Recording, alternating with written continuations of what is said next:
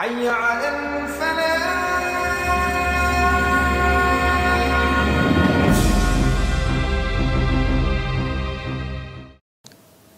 عليكم ورحمة الله وبركاته.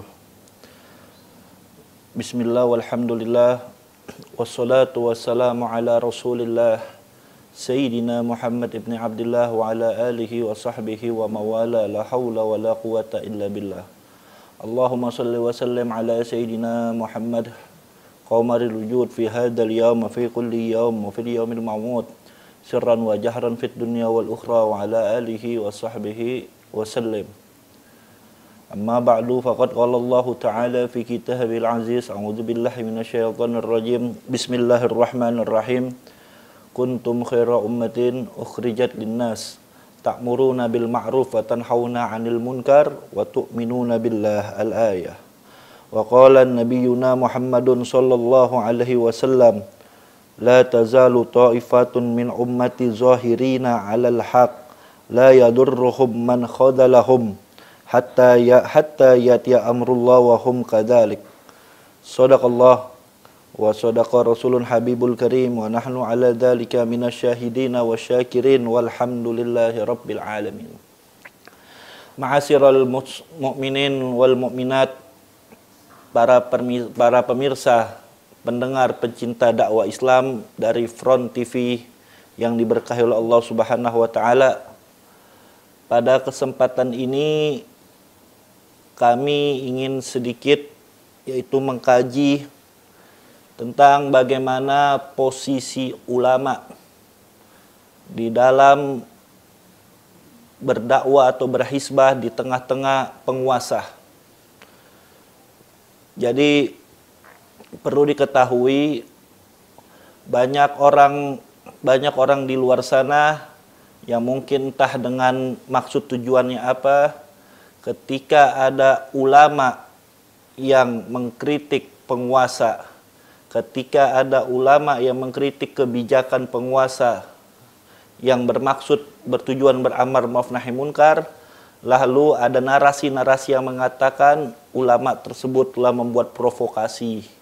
Ulama ulama tersebut telah menjelek-jelekan pemerintahan. Ulama tersebut menjual isu-isu keumatan. Bahkan dianggap memprovokasi memecah belah bangsa. Nah, di sini kita ingin kaji apa sih peranan ulama di tengah-tengah uh, kekuasaan pemerintahan yaitu tidak lain dan tidak bukan ulama harus menempatkan dirinya sebagai yaitu sebagai menegur dalam arti menegur yaitu beramar ma'ruf nahi munkar terhadap penguasa. Artinya di sini perlu diketahui posisi ulama bukan oposisi posisi ulama di tengah-tengah pemerintah bukan oposisi. Karena berbeda kalau oposisi manakala ada kebijakan yang bagus sekalipun tetap dibilang jelek. Tapi posisi ulama jangan dianggap sebagai oposisi, tapi posisi ulama yaitu beramar ma'ruf nahi munkar terhadap pemerintahan. Artinya manakala ada suatu kebijakan yang diterapkan oleh suatu pemerintahan atau penguasa yang mungkin sejalan dan bagus, sejalan dengan agama dan bagus penuh dengan kemaslahatan, maka para ulama nggak segan-segan memberikan apresiasi, mengucapkan terima kasih dan mengakui yaitu kebijakan ini bagus. Tapi manakala ada kebijakan-kebijakan pemerintah atau kekuasaan atau sebuah atau suatu peng, uh, uh, atau suatu penguasa yang mungkin ini kebijakannya ini bertentangan dengan yaitu nilai-nilai agama, dengan nilai-nilai kemanusiaan, bahkan penuh dengan kemudorotan. Di sini ulama wajib untuk menggunakan ilmunya yaitu menegur kepada pemerintahan wajib meluruskan karena di sini posisi ulama yaitu beramar ma'ruf nahi munkar. Artinya memerintahkan kebaikan dan apabila ada kemungkaran dia cegah. Dia cegah sebagaimana Nabi alaihi salatu wasallam mengatakan man ra'a minkum munkaran falyughayyirhu biyadihi. Fa, fa in lam yastati' fa bilisanihi fa in lam yastati' fa biqalbi. Jika kalian melihat suatu kemunkaran maka man ra'a minkum munkaron jika kalian melihat suatu kemunkaran maka yaitu fal yughayyir biyadih maka hendaknya dirubah dengan tangan fa in lam yastati kalau jika tidak mampu fa bilisanih yaitu dengan lisan fa in lam yastati fa biqalbi wa dzalika ad'aful iman dan jika mungkin nggak mampu dengan lisan maka dengan hati Artinya dia menjauhkan diri dari hal-hal yang mungkin dianggap kemungkaran dan dia mengingkari dengan hati dan Nabi katakan wadzalika adaful iman dan itulah selemah-lemahnya iman.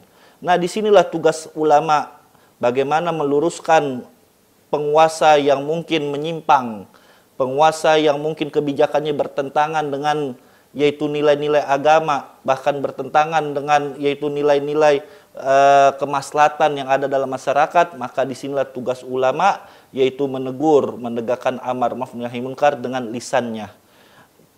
Dan ini sejalan dan ini sejalan apa yang Nabi Shallallahu Alaihi Wasallam katakan dalam satu hadisnya, afdolul jihad kalimatu hakin inda sultan jair. Yang di mana dalam hadis tersebut yang diriwayatkan oleh Al Imam Termuzi maupun Sunan Abi Daud di dalam kitab Sunannya maupun Ibnu Majah yang bersumber dari Abu Sa'id Al-Khudri. Nabi mengatakan afdolul jihad kalimatun hakin.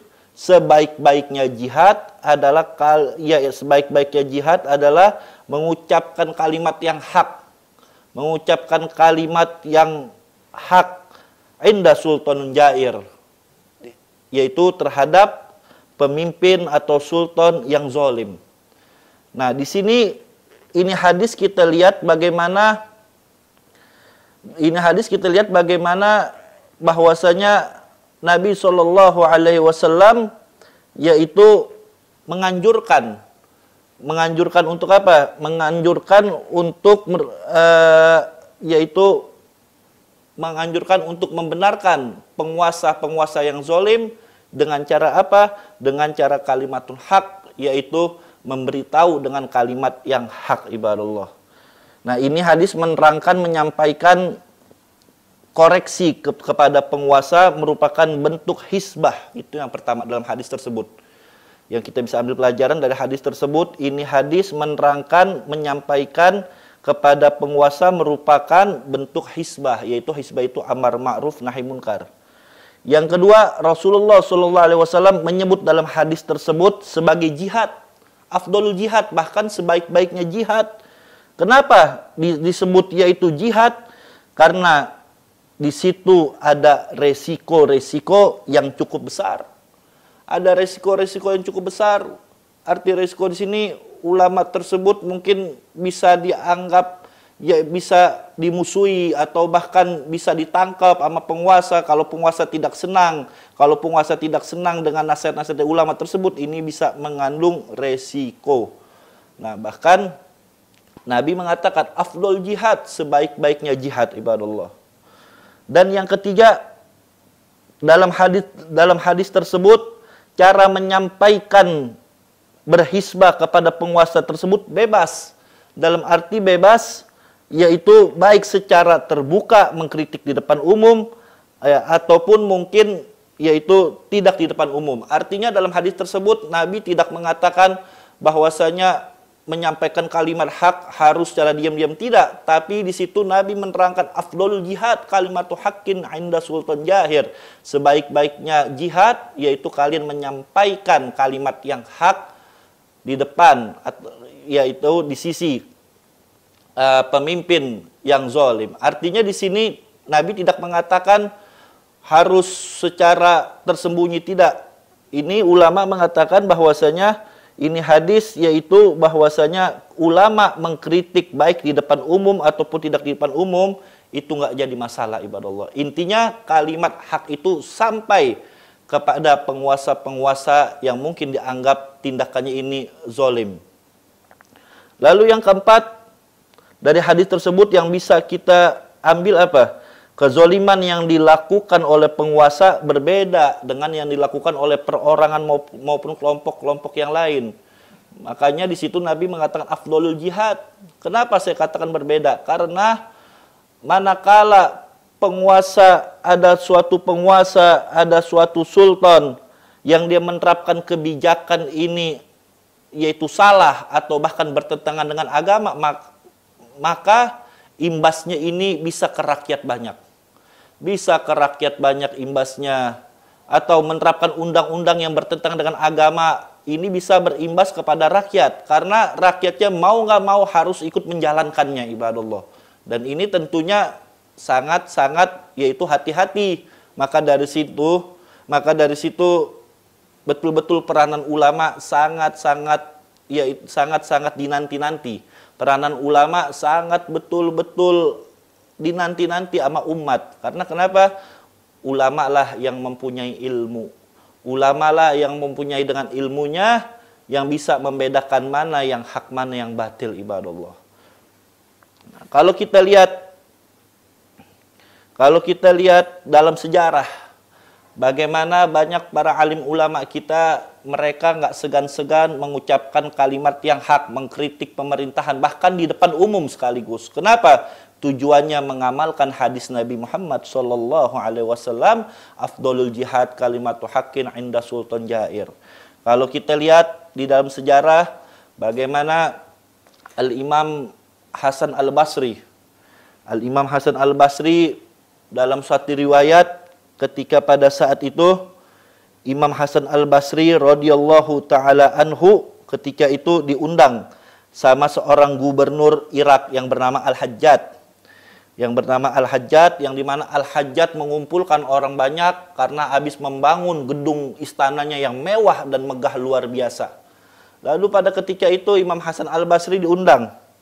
Ketika telah ketika, ketika telah memperhatikan sebuah bangunan, Imam Hasan Al-Basri memperhatikan bangunan yang begitu megah, lalu Imam Hasan Al-Basri mengingatkan kepada yaitu Al-Hajjat, gubernur Irak tersebut yang mengatakan bahwasanya tindakanmu ini dulu pernah dilakukan sama sejelek-jeleknya manusia. Siapa? Fir'aun. Bahkan Fir'aun istananya, bangunannya lebih luas dari ini. Tetapi Allah hancurkan orangnya dan Allah hancurkan juga kerajaannya. Lalu Imam Hasan Al-Basri di depan orang mengingatkan kepada Al-Hajjat. Al-Hajjat ini kesian. Dia ini nggak sadar sedang diperdaya oleh makhluk di bumi, tapi sedang yaitu sedang uh, apa uh, sedang diperdaya sama makhluk di bumi tapi sedang dimurkai sama makhluk di langit ibadah Itu Imam Hasan Al-Basri mengatakan seperti itu. Bahkan orang-orang di sekelilingnya menahan Imam Hasan Al-Basri supaya stop pembicaraannya takut dihukum sama raja, sama gubernur tersebut. Tapi Imam Hasan Al-Basri tidak peduli, terus terus dia mengingatkan bahwasanya tindakan Al-Hajjat itu nggak betul. Membangun istana begitu megah, memakai uang kas negara sementara rakyat masih banyak yang susah. Rakyat masih banyak yang kelaparan. Tindakan ini gak ada bedanya dengan Fir'aun. Bahkan Fir'aun gedungnya, istananya lebih besar tapi Allah hancurkan. Yang Allah lihat bukan bangunannya. Tapi bagaimana yang Allah lihat yaitu mereka para penguasa beriman, bertakwa kepada Allah dan Rasulnya. Dan cinta kepada rakyatnya menerapkan hukum sesuai dengan hukum Allah dan Rasulnya. Ini satu contoh Bagaimana Imam Hasan Al-Basri secara terang-terangan tidak sembunyi-sembunyi mengamalkan hadis Nabi afdolul jihad kalimatu hakin inda sultan jair. Lalu yang kedua, kalau kita buka sejarah lagi, ada seorang ulama besar di Madinah, Al-Imam Sa'id bin Musayyab. Al-Imam Sa'id radhiyallahu taala anhu di dalam satu di, di dalam satu riwayat Al-Imam Sa'id bin Musayyib Ketika itu di zaman Abdul Malik bin Marwan, ketika Abdul Malik bin Marwan berkuasa, ia ingin menjadikan anaknya sebagai khalifah. Jadi Abdul Malik bin Marwan ini langsung membaiat anaknya yaitu sebagai putra mahkota, lalu mengumpulkan orang-orang untuk mengikuti baiat tersebut. Lalu setelah itu Al-Imam Said bin Musayyib tidak setuju dengan cara yaitu khalifah Abdul Malik bin Marwan tidak mau menuruti keinginan penguasa penguasa tersebut, beliau tidak mau berbaiat. Akhirnya orang-orang pada saat itu mengkhawatirkan keselamatan Al-Imam Said bin Musayyib. Kalau dia tidak nurut, dia bisa mungkin dipenjara bahkan dibunuh. Akhirnya orang-orang sahabat-sahabat Said bin Musayyib menganjurkan agar Said bin Musayyib meninggalkan kota Madinah. Lebih baik yaitu meninggalkan kota Madinah silahkan ke Mekah untuk menghindari supaya tidak ada keributan karena Al Imam Said bin Musaib ini betul-betul orang yang tegas dalam mengkritik penguasa. Tapi Said bin Musaib mengatakan aku tidak mau lari. Aku tidak mau lari meninggalkan Madinah, aku tidak mau yaitu melakukan apa-apa yang memberatkan aku. Lalu sahabat Al Imam Said bin Al Imam Said bin Musayyib menganjurkan lagi baik kalau begitu paling enggak engkau di rumah saja jangan keluar. Ketika nanti ada Khalifah Abdul Malik bin Marwan ingin membaiat anaknya engkau jangan keluar. Lalu apa yang dikatakan oleh Said bin Musayyib? Dia mengatakan bagaimana aku nggak bisa keluar rumah sedangkan aku mendengar azan nanti hayya ala sholah hayya alal falah. Lalu sahabat-sahabat Al-Imam Said bin Musayyib mengasih solusi yang ketiga. Baik kalau begitu engkau hadir, cukup engkau hadir tapi engkau jangan mengiyakan, jangan engkau bilang tidak. Kenapa sahabat menganjurkan seperti itu? Karena khawatir nanti takut diperlakukan bahkan di penjara dibunuh ulama mereka itu Al-Imam Said bin Musayyib. Dia menganjurkan agar engkau diam saja, kalau engkau mau hadir silakan engkau diam. Jangan mengiyakan, jangan mengatakan tidak. Lalu apa jawaban Al-Imam Sa'id bin Musayyib? Dia mengatakan, aku tidak bisa begitu. Kalau aku diam sama aja aku ridho dengan keputusan penguasa yang zalim tersebut. Yang tidak sesuai dengan sunnah Nabi Muhammad SAW dan khulafur rasidin. Lalu singkat cerita ketika datang Khalifah Abdul Malik bin Marwan ini mengumpulkan orang, dia membaiat anaknya menjadikan putra mahkota akhirnya dengan lantang Said bin Musayyib menolak tersebut yang pada akhirnya dia yaitu uh, di penjara dan dia di penjara sama khalifah tersebut ibadallah. Nah, ini satu contoh bagaimana saya bawakan kisah-kisah seperti ini bagaimana ulama-ulama kita dulu para tabiin mereka nggak segan-segan untuk membenarkan para penguasa yang zolim membenarkan artinya ketika salah dia benarkan maksudnya ketika salah ketika kebijakan salah, maka dia nggak segan-segan untuk mengkritik, yaitu tindakan dari pemerintah tersebut untuk membenarkannya. Inilah yang dulu dia inilah dulu yang dikerjakan oleh para ulama-ulama kita. Kalau kita lihat contoh lagi dalam sejarah ibadallah, bagaimana kita lihat di dalam kitab Ihya Ulumuddin, Al-Imam Al-Ghazali membawakan kisah dulu di zaman Muawiyah bin Abu Sofyan ketika Muawiyah menjadi khalifah, ada seorang yang bernama Abu Muslim Al-Qaulani. Eh, Abu Muslim Al-Qaulani nggak segan-segan mengkritik Muawiyah bin Abi Sofyan karena Muawiyah bin Abu Sofyan membagikan, membagikan harta atau menahan harta orang yang berhak mendapatkannya. Jadi ketika itu ada orang yang berhak untuk mendapatkan harta disantuni tapi ditahan hartanya sama Muawiyah bin Abu Sofyan. Akhirnya Abu Muslim Al-Qulaini tidak segan-segan. Di depan orang banyak dia mengkritik Muawiyah bin Abi Sofyan. Dia katakan sesungguhnya ada urusan apa engkau menahan harta hak orang lain. Sesungguhnya harta itu kas negara dari rakyat. Bukan dari jerih payahmu. Bukan dari jerih payah ayahmu. Dan bukan dari jerih parah. Dan bukan dari jenis. Dan bukan dari uh, jerih, para, uh, jerih payah ibumu. Ini lihat, luar biasa. Para ulama-ulama kita nggak segan-segan mengkritik yaitu pemerintahan karena kenapa mereka menempatkan bukan sebagai oposisi tapi mereka menempatkan yaitu sebagai amar ma'ruf nahi munkar berhisbah yaitu memerintahkan kebaikan dan mencegah kemunkaran bahkan nggak sampai di situ ada satu lagi riwayat dalam kitab Ihya Ulumuddin yang menarik ketika di zaman Sayyidina Umar ibn Khattab radhiyallahu taala anhu ketika di ketika ketika zaman Sayyidina Umar ada gubernurnya yang bernama Abu Musa Al-Ash'ari. Abu Musa Al-Ash'ari ini ditugaskan diangkat sama Sayyidina Umar sebagai gubernur di kota Irak, di Basrah.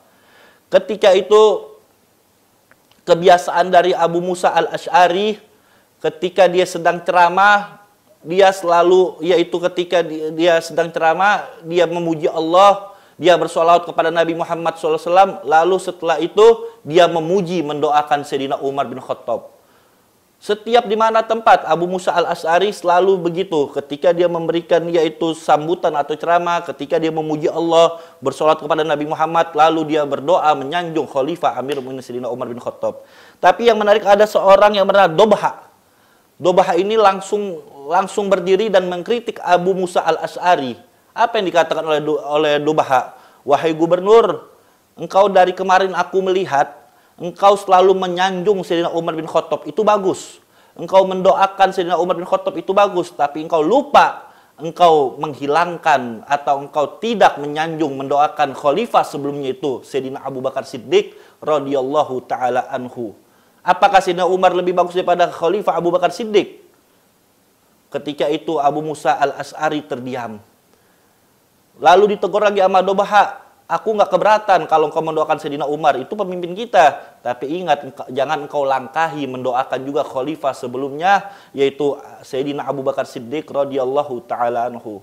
Singkat cerita, ketika Sayyidina Umar mendengar berita tersebut, ketika Sayyidina Umar ke, Irak, Sayyidina Umar memanggil Dobaha. Dia memanggil Dobaha, dia mengatakan, "Wahai Dobaha, Aku sering mendengar engkau sering ribut dengan Abu Musa al-As'ari, gubernur gubernur yang aku angkat. Memang ada apa?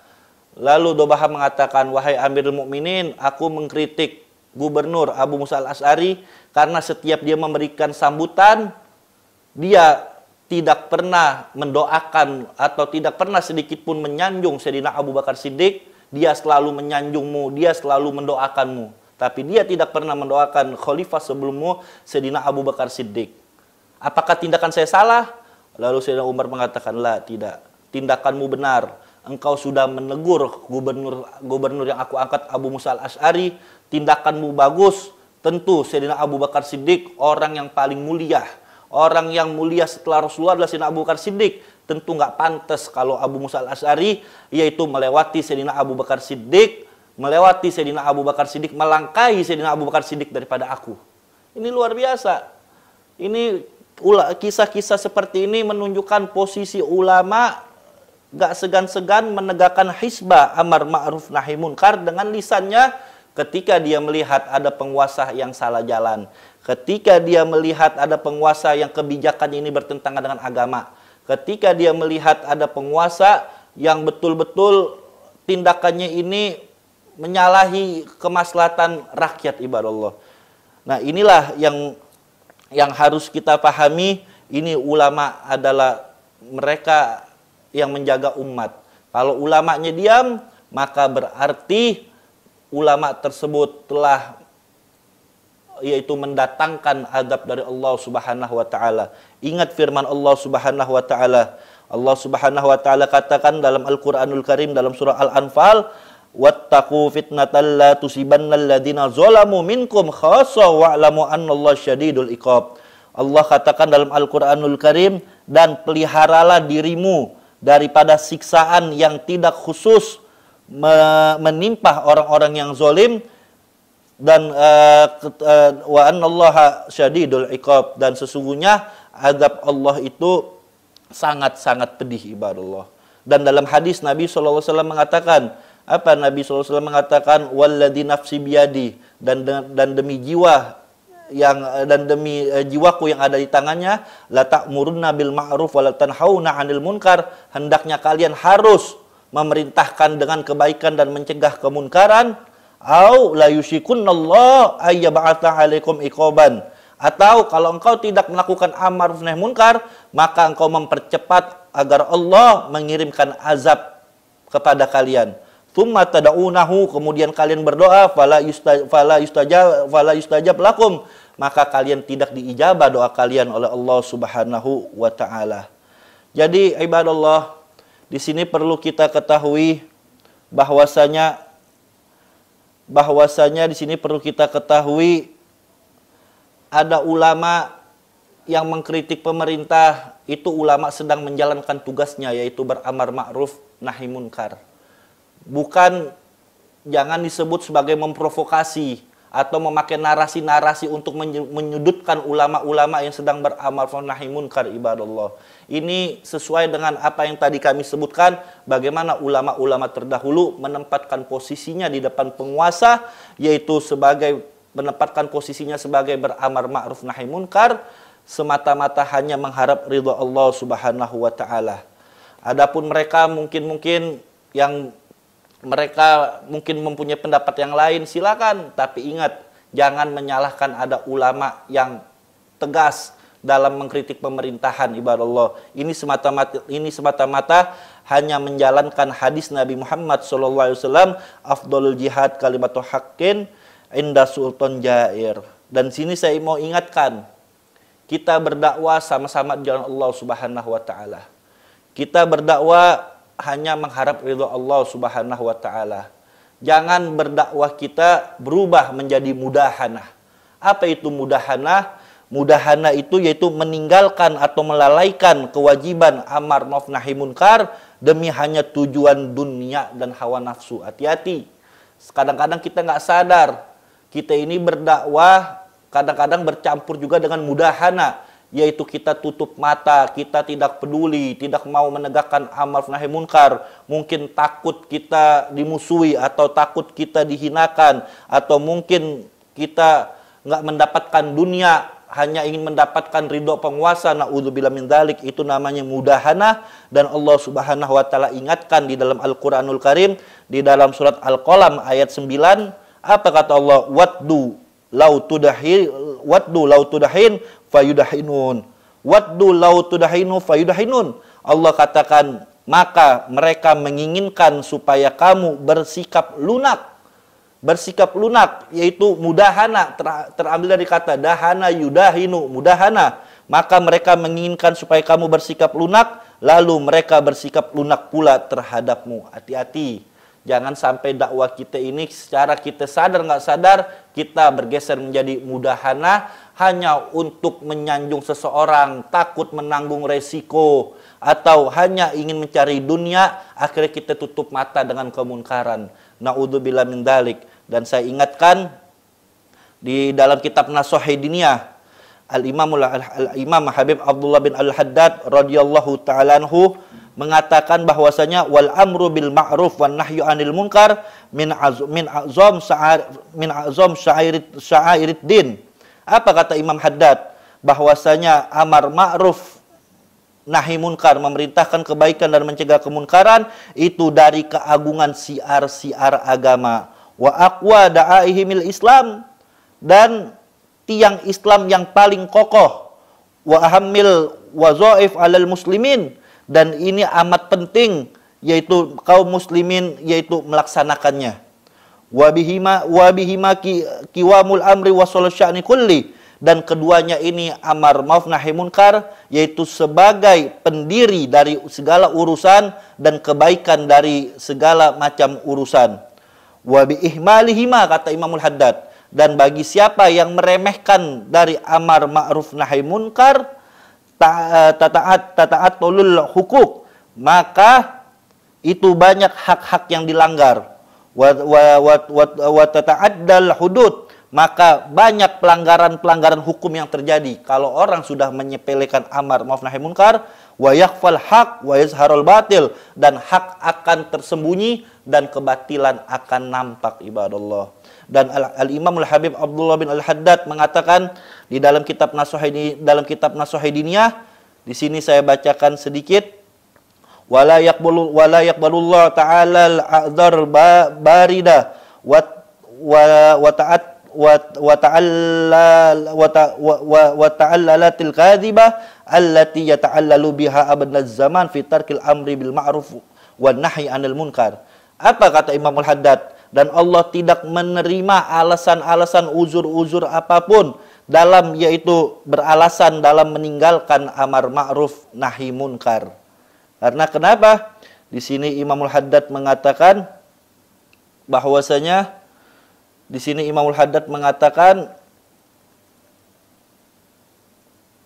wal ajabu anna ahadahum idza su idza sutima au ukhidha au ukhidha min malihi walau syai'an yasiran tadiku alaihi dunya wala yumkinu sukut luar biasa Imam Haddad mengatakan dan saya heran sesungguhnya di antara mereka apabila mereka dicaci maki apabila harta mereka dirampas apabila dunia mereka disempitin wala yumkin husukut tentu mereka nggak bakal diam tapi yang menarik wala yata'allalu bisya'in min tilkat ta'allulati allati yata'allal bihi, biha fis sukut alal munkar.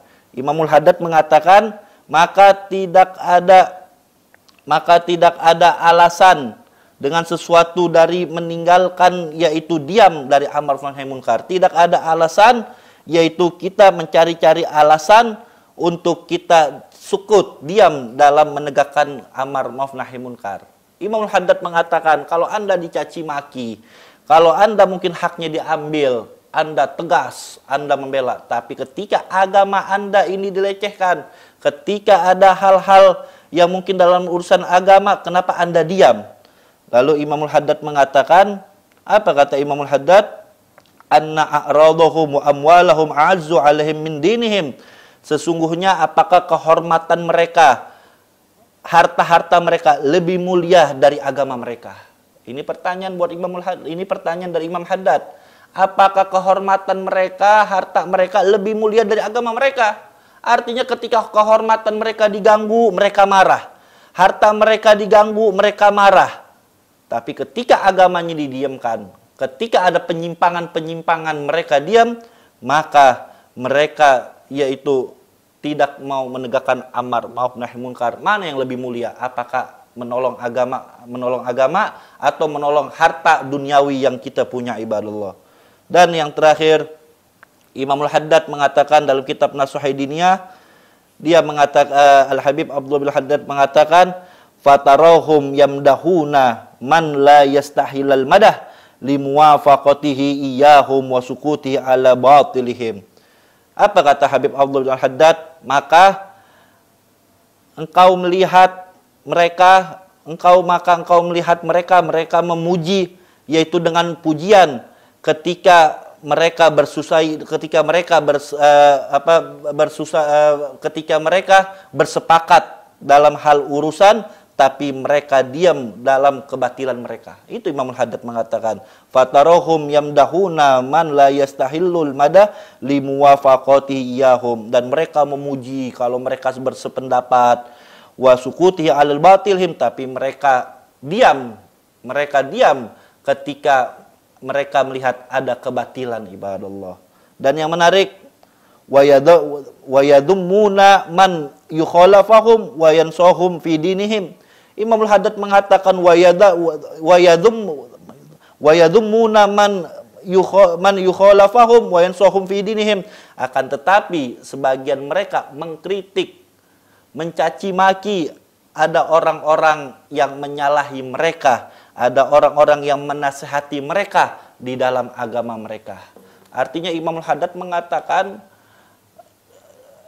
mereka yaitu nggak habis pikir ada orang ulama yang soleh mengkritik yaitu apa men, uh, mengkritik uh, mengkritik menyalahi aturan mereka mengkritik aturan mereka dan menasehati dan menasehati mereka dalam urusan agama mereka dicaci maki ibadah Allah mereka yaitu dikecilkan. Kenapa ini demikian? Karena mereka tidak ada girohnya dalam menegakkan amar ma'ruf nahi munkar. Nah ini yang saya ingin sampaikan. Intinya poinnya bahwasanya posisi ulama terhadap suatu kekuasaan atau terhadap pemerintahan atau penguasa, ulama harus menempatkan yaitu amar ma'ruf nahi munkar.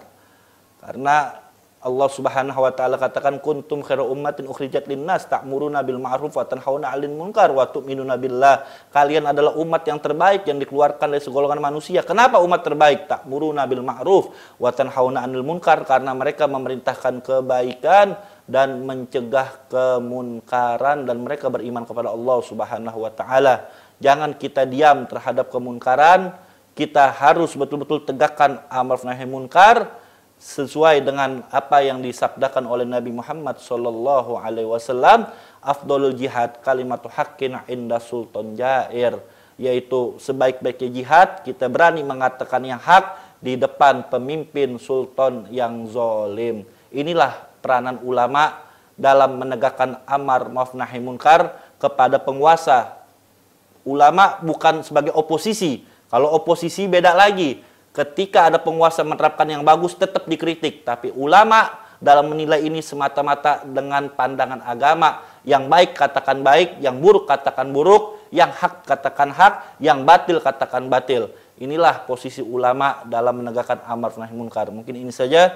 Mudah-mudahan insya Allah apa yang kita sampaikan ini bermanfaat. Dan mudah-mudahan insya Allah kita menjadi paham mana orang-orang yang ingin mana orang-orang yang ingin menyepelekan ulama kita, mana orang-orang yang menuduh ulama kita membuat provokasi, membuat kegaduhan, lalu mana mereka betul-betul yang berjuang dengan Allah Subhanahu wa taala. Intinya kita harus jeli, jangan termakan yaitu isu, jangan kita mau diadu domba, gunakan ilmu kita, kita bisa lihat ulama yang istiqomah mana ulama yang tidak istiqomah. Itu saja, mudah-mudahan bermanfaat. Assalamualaikum warahmatullahi wabarakatuh.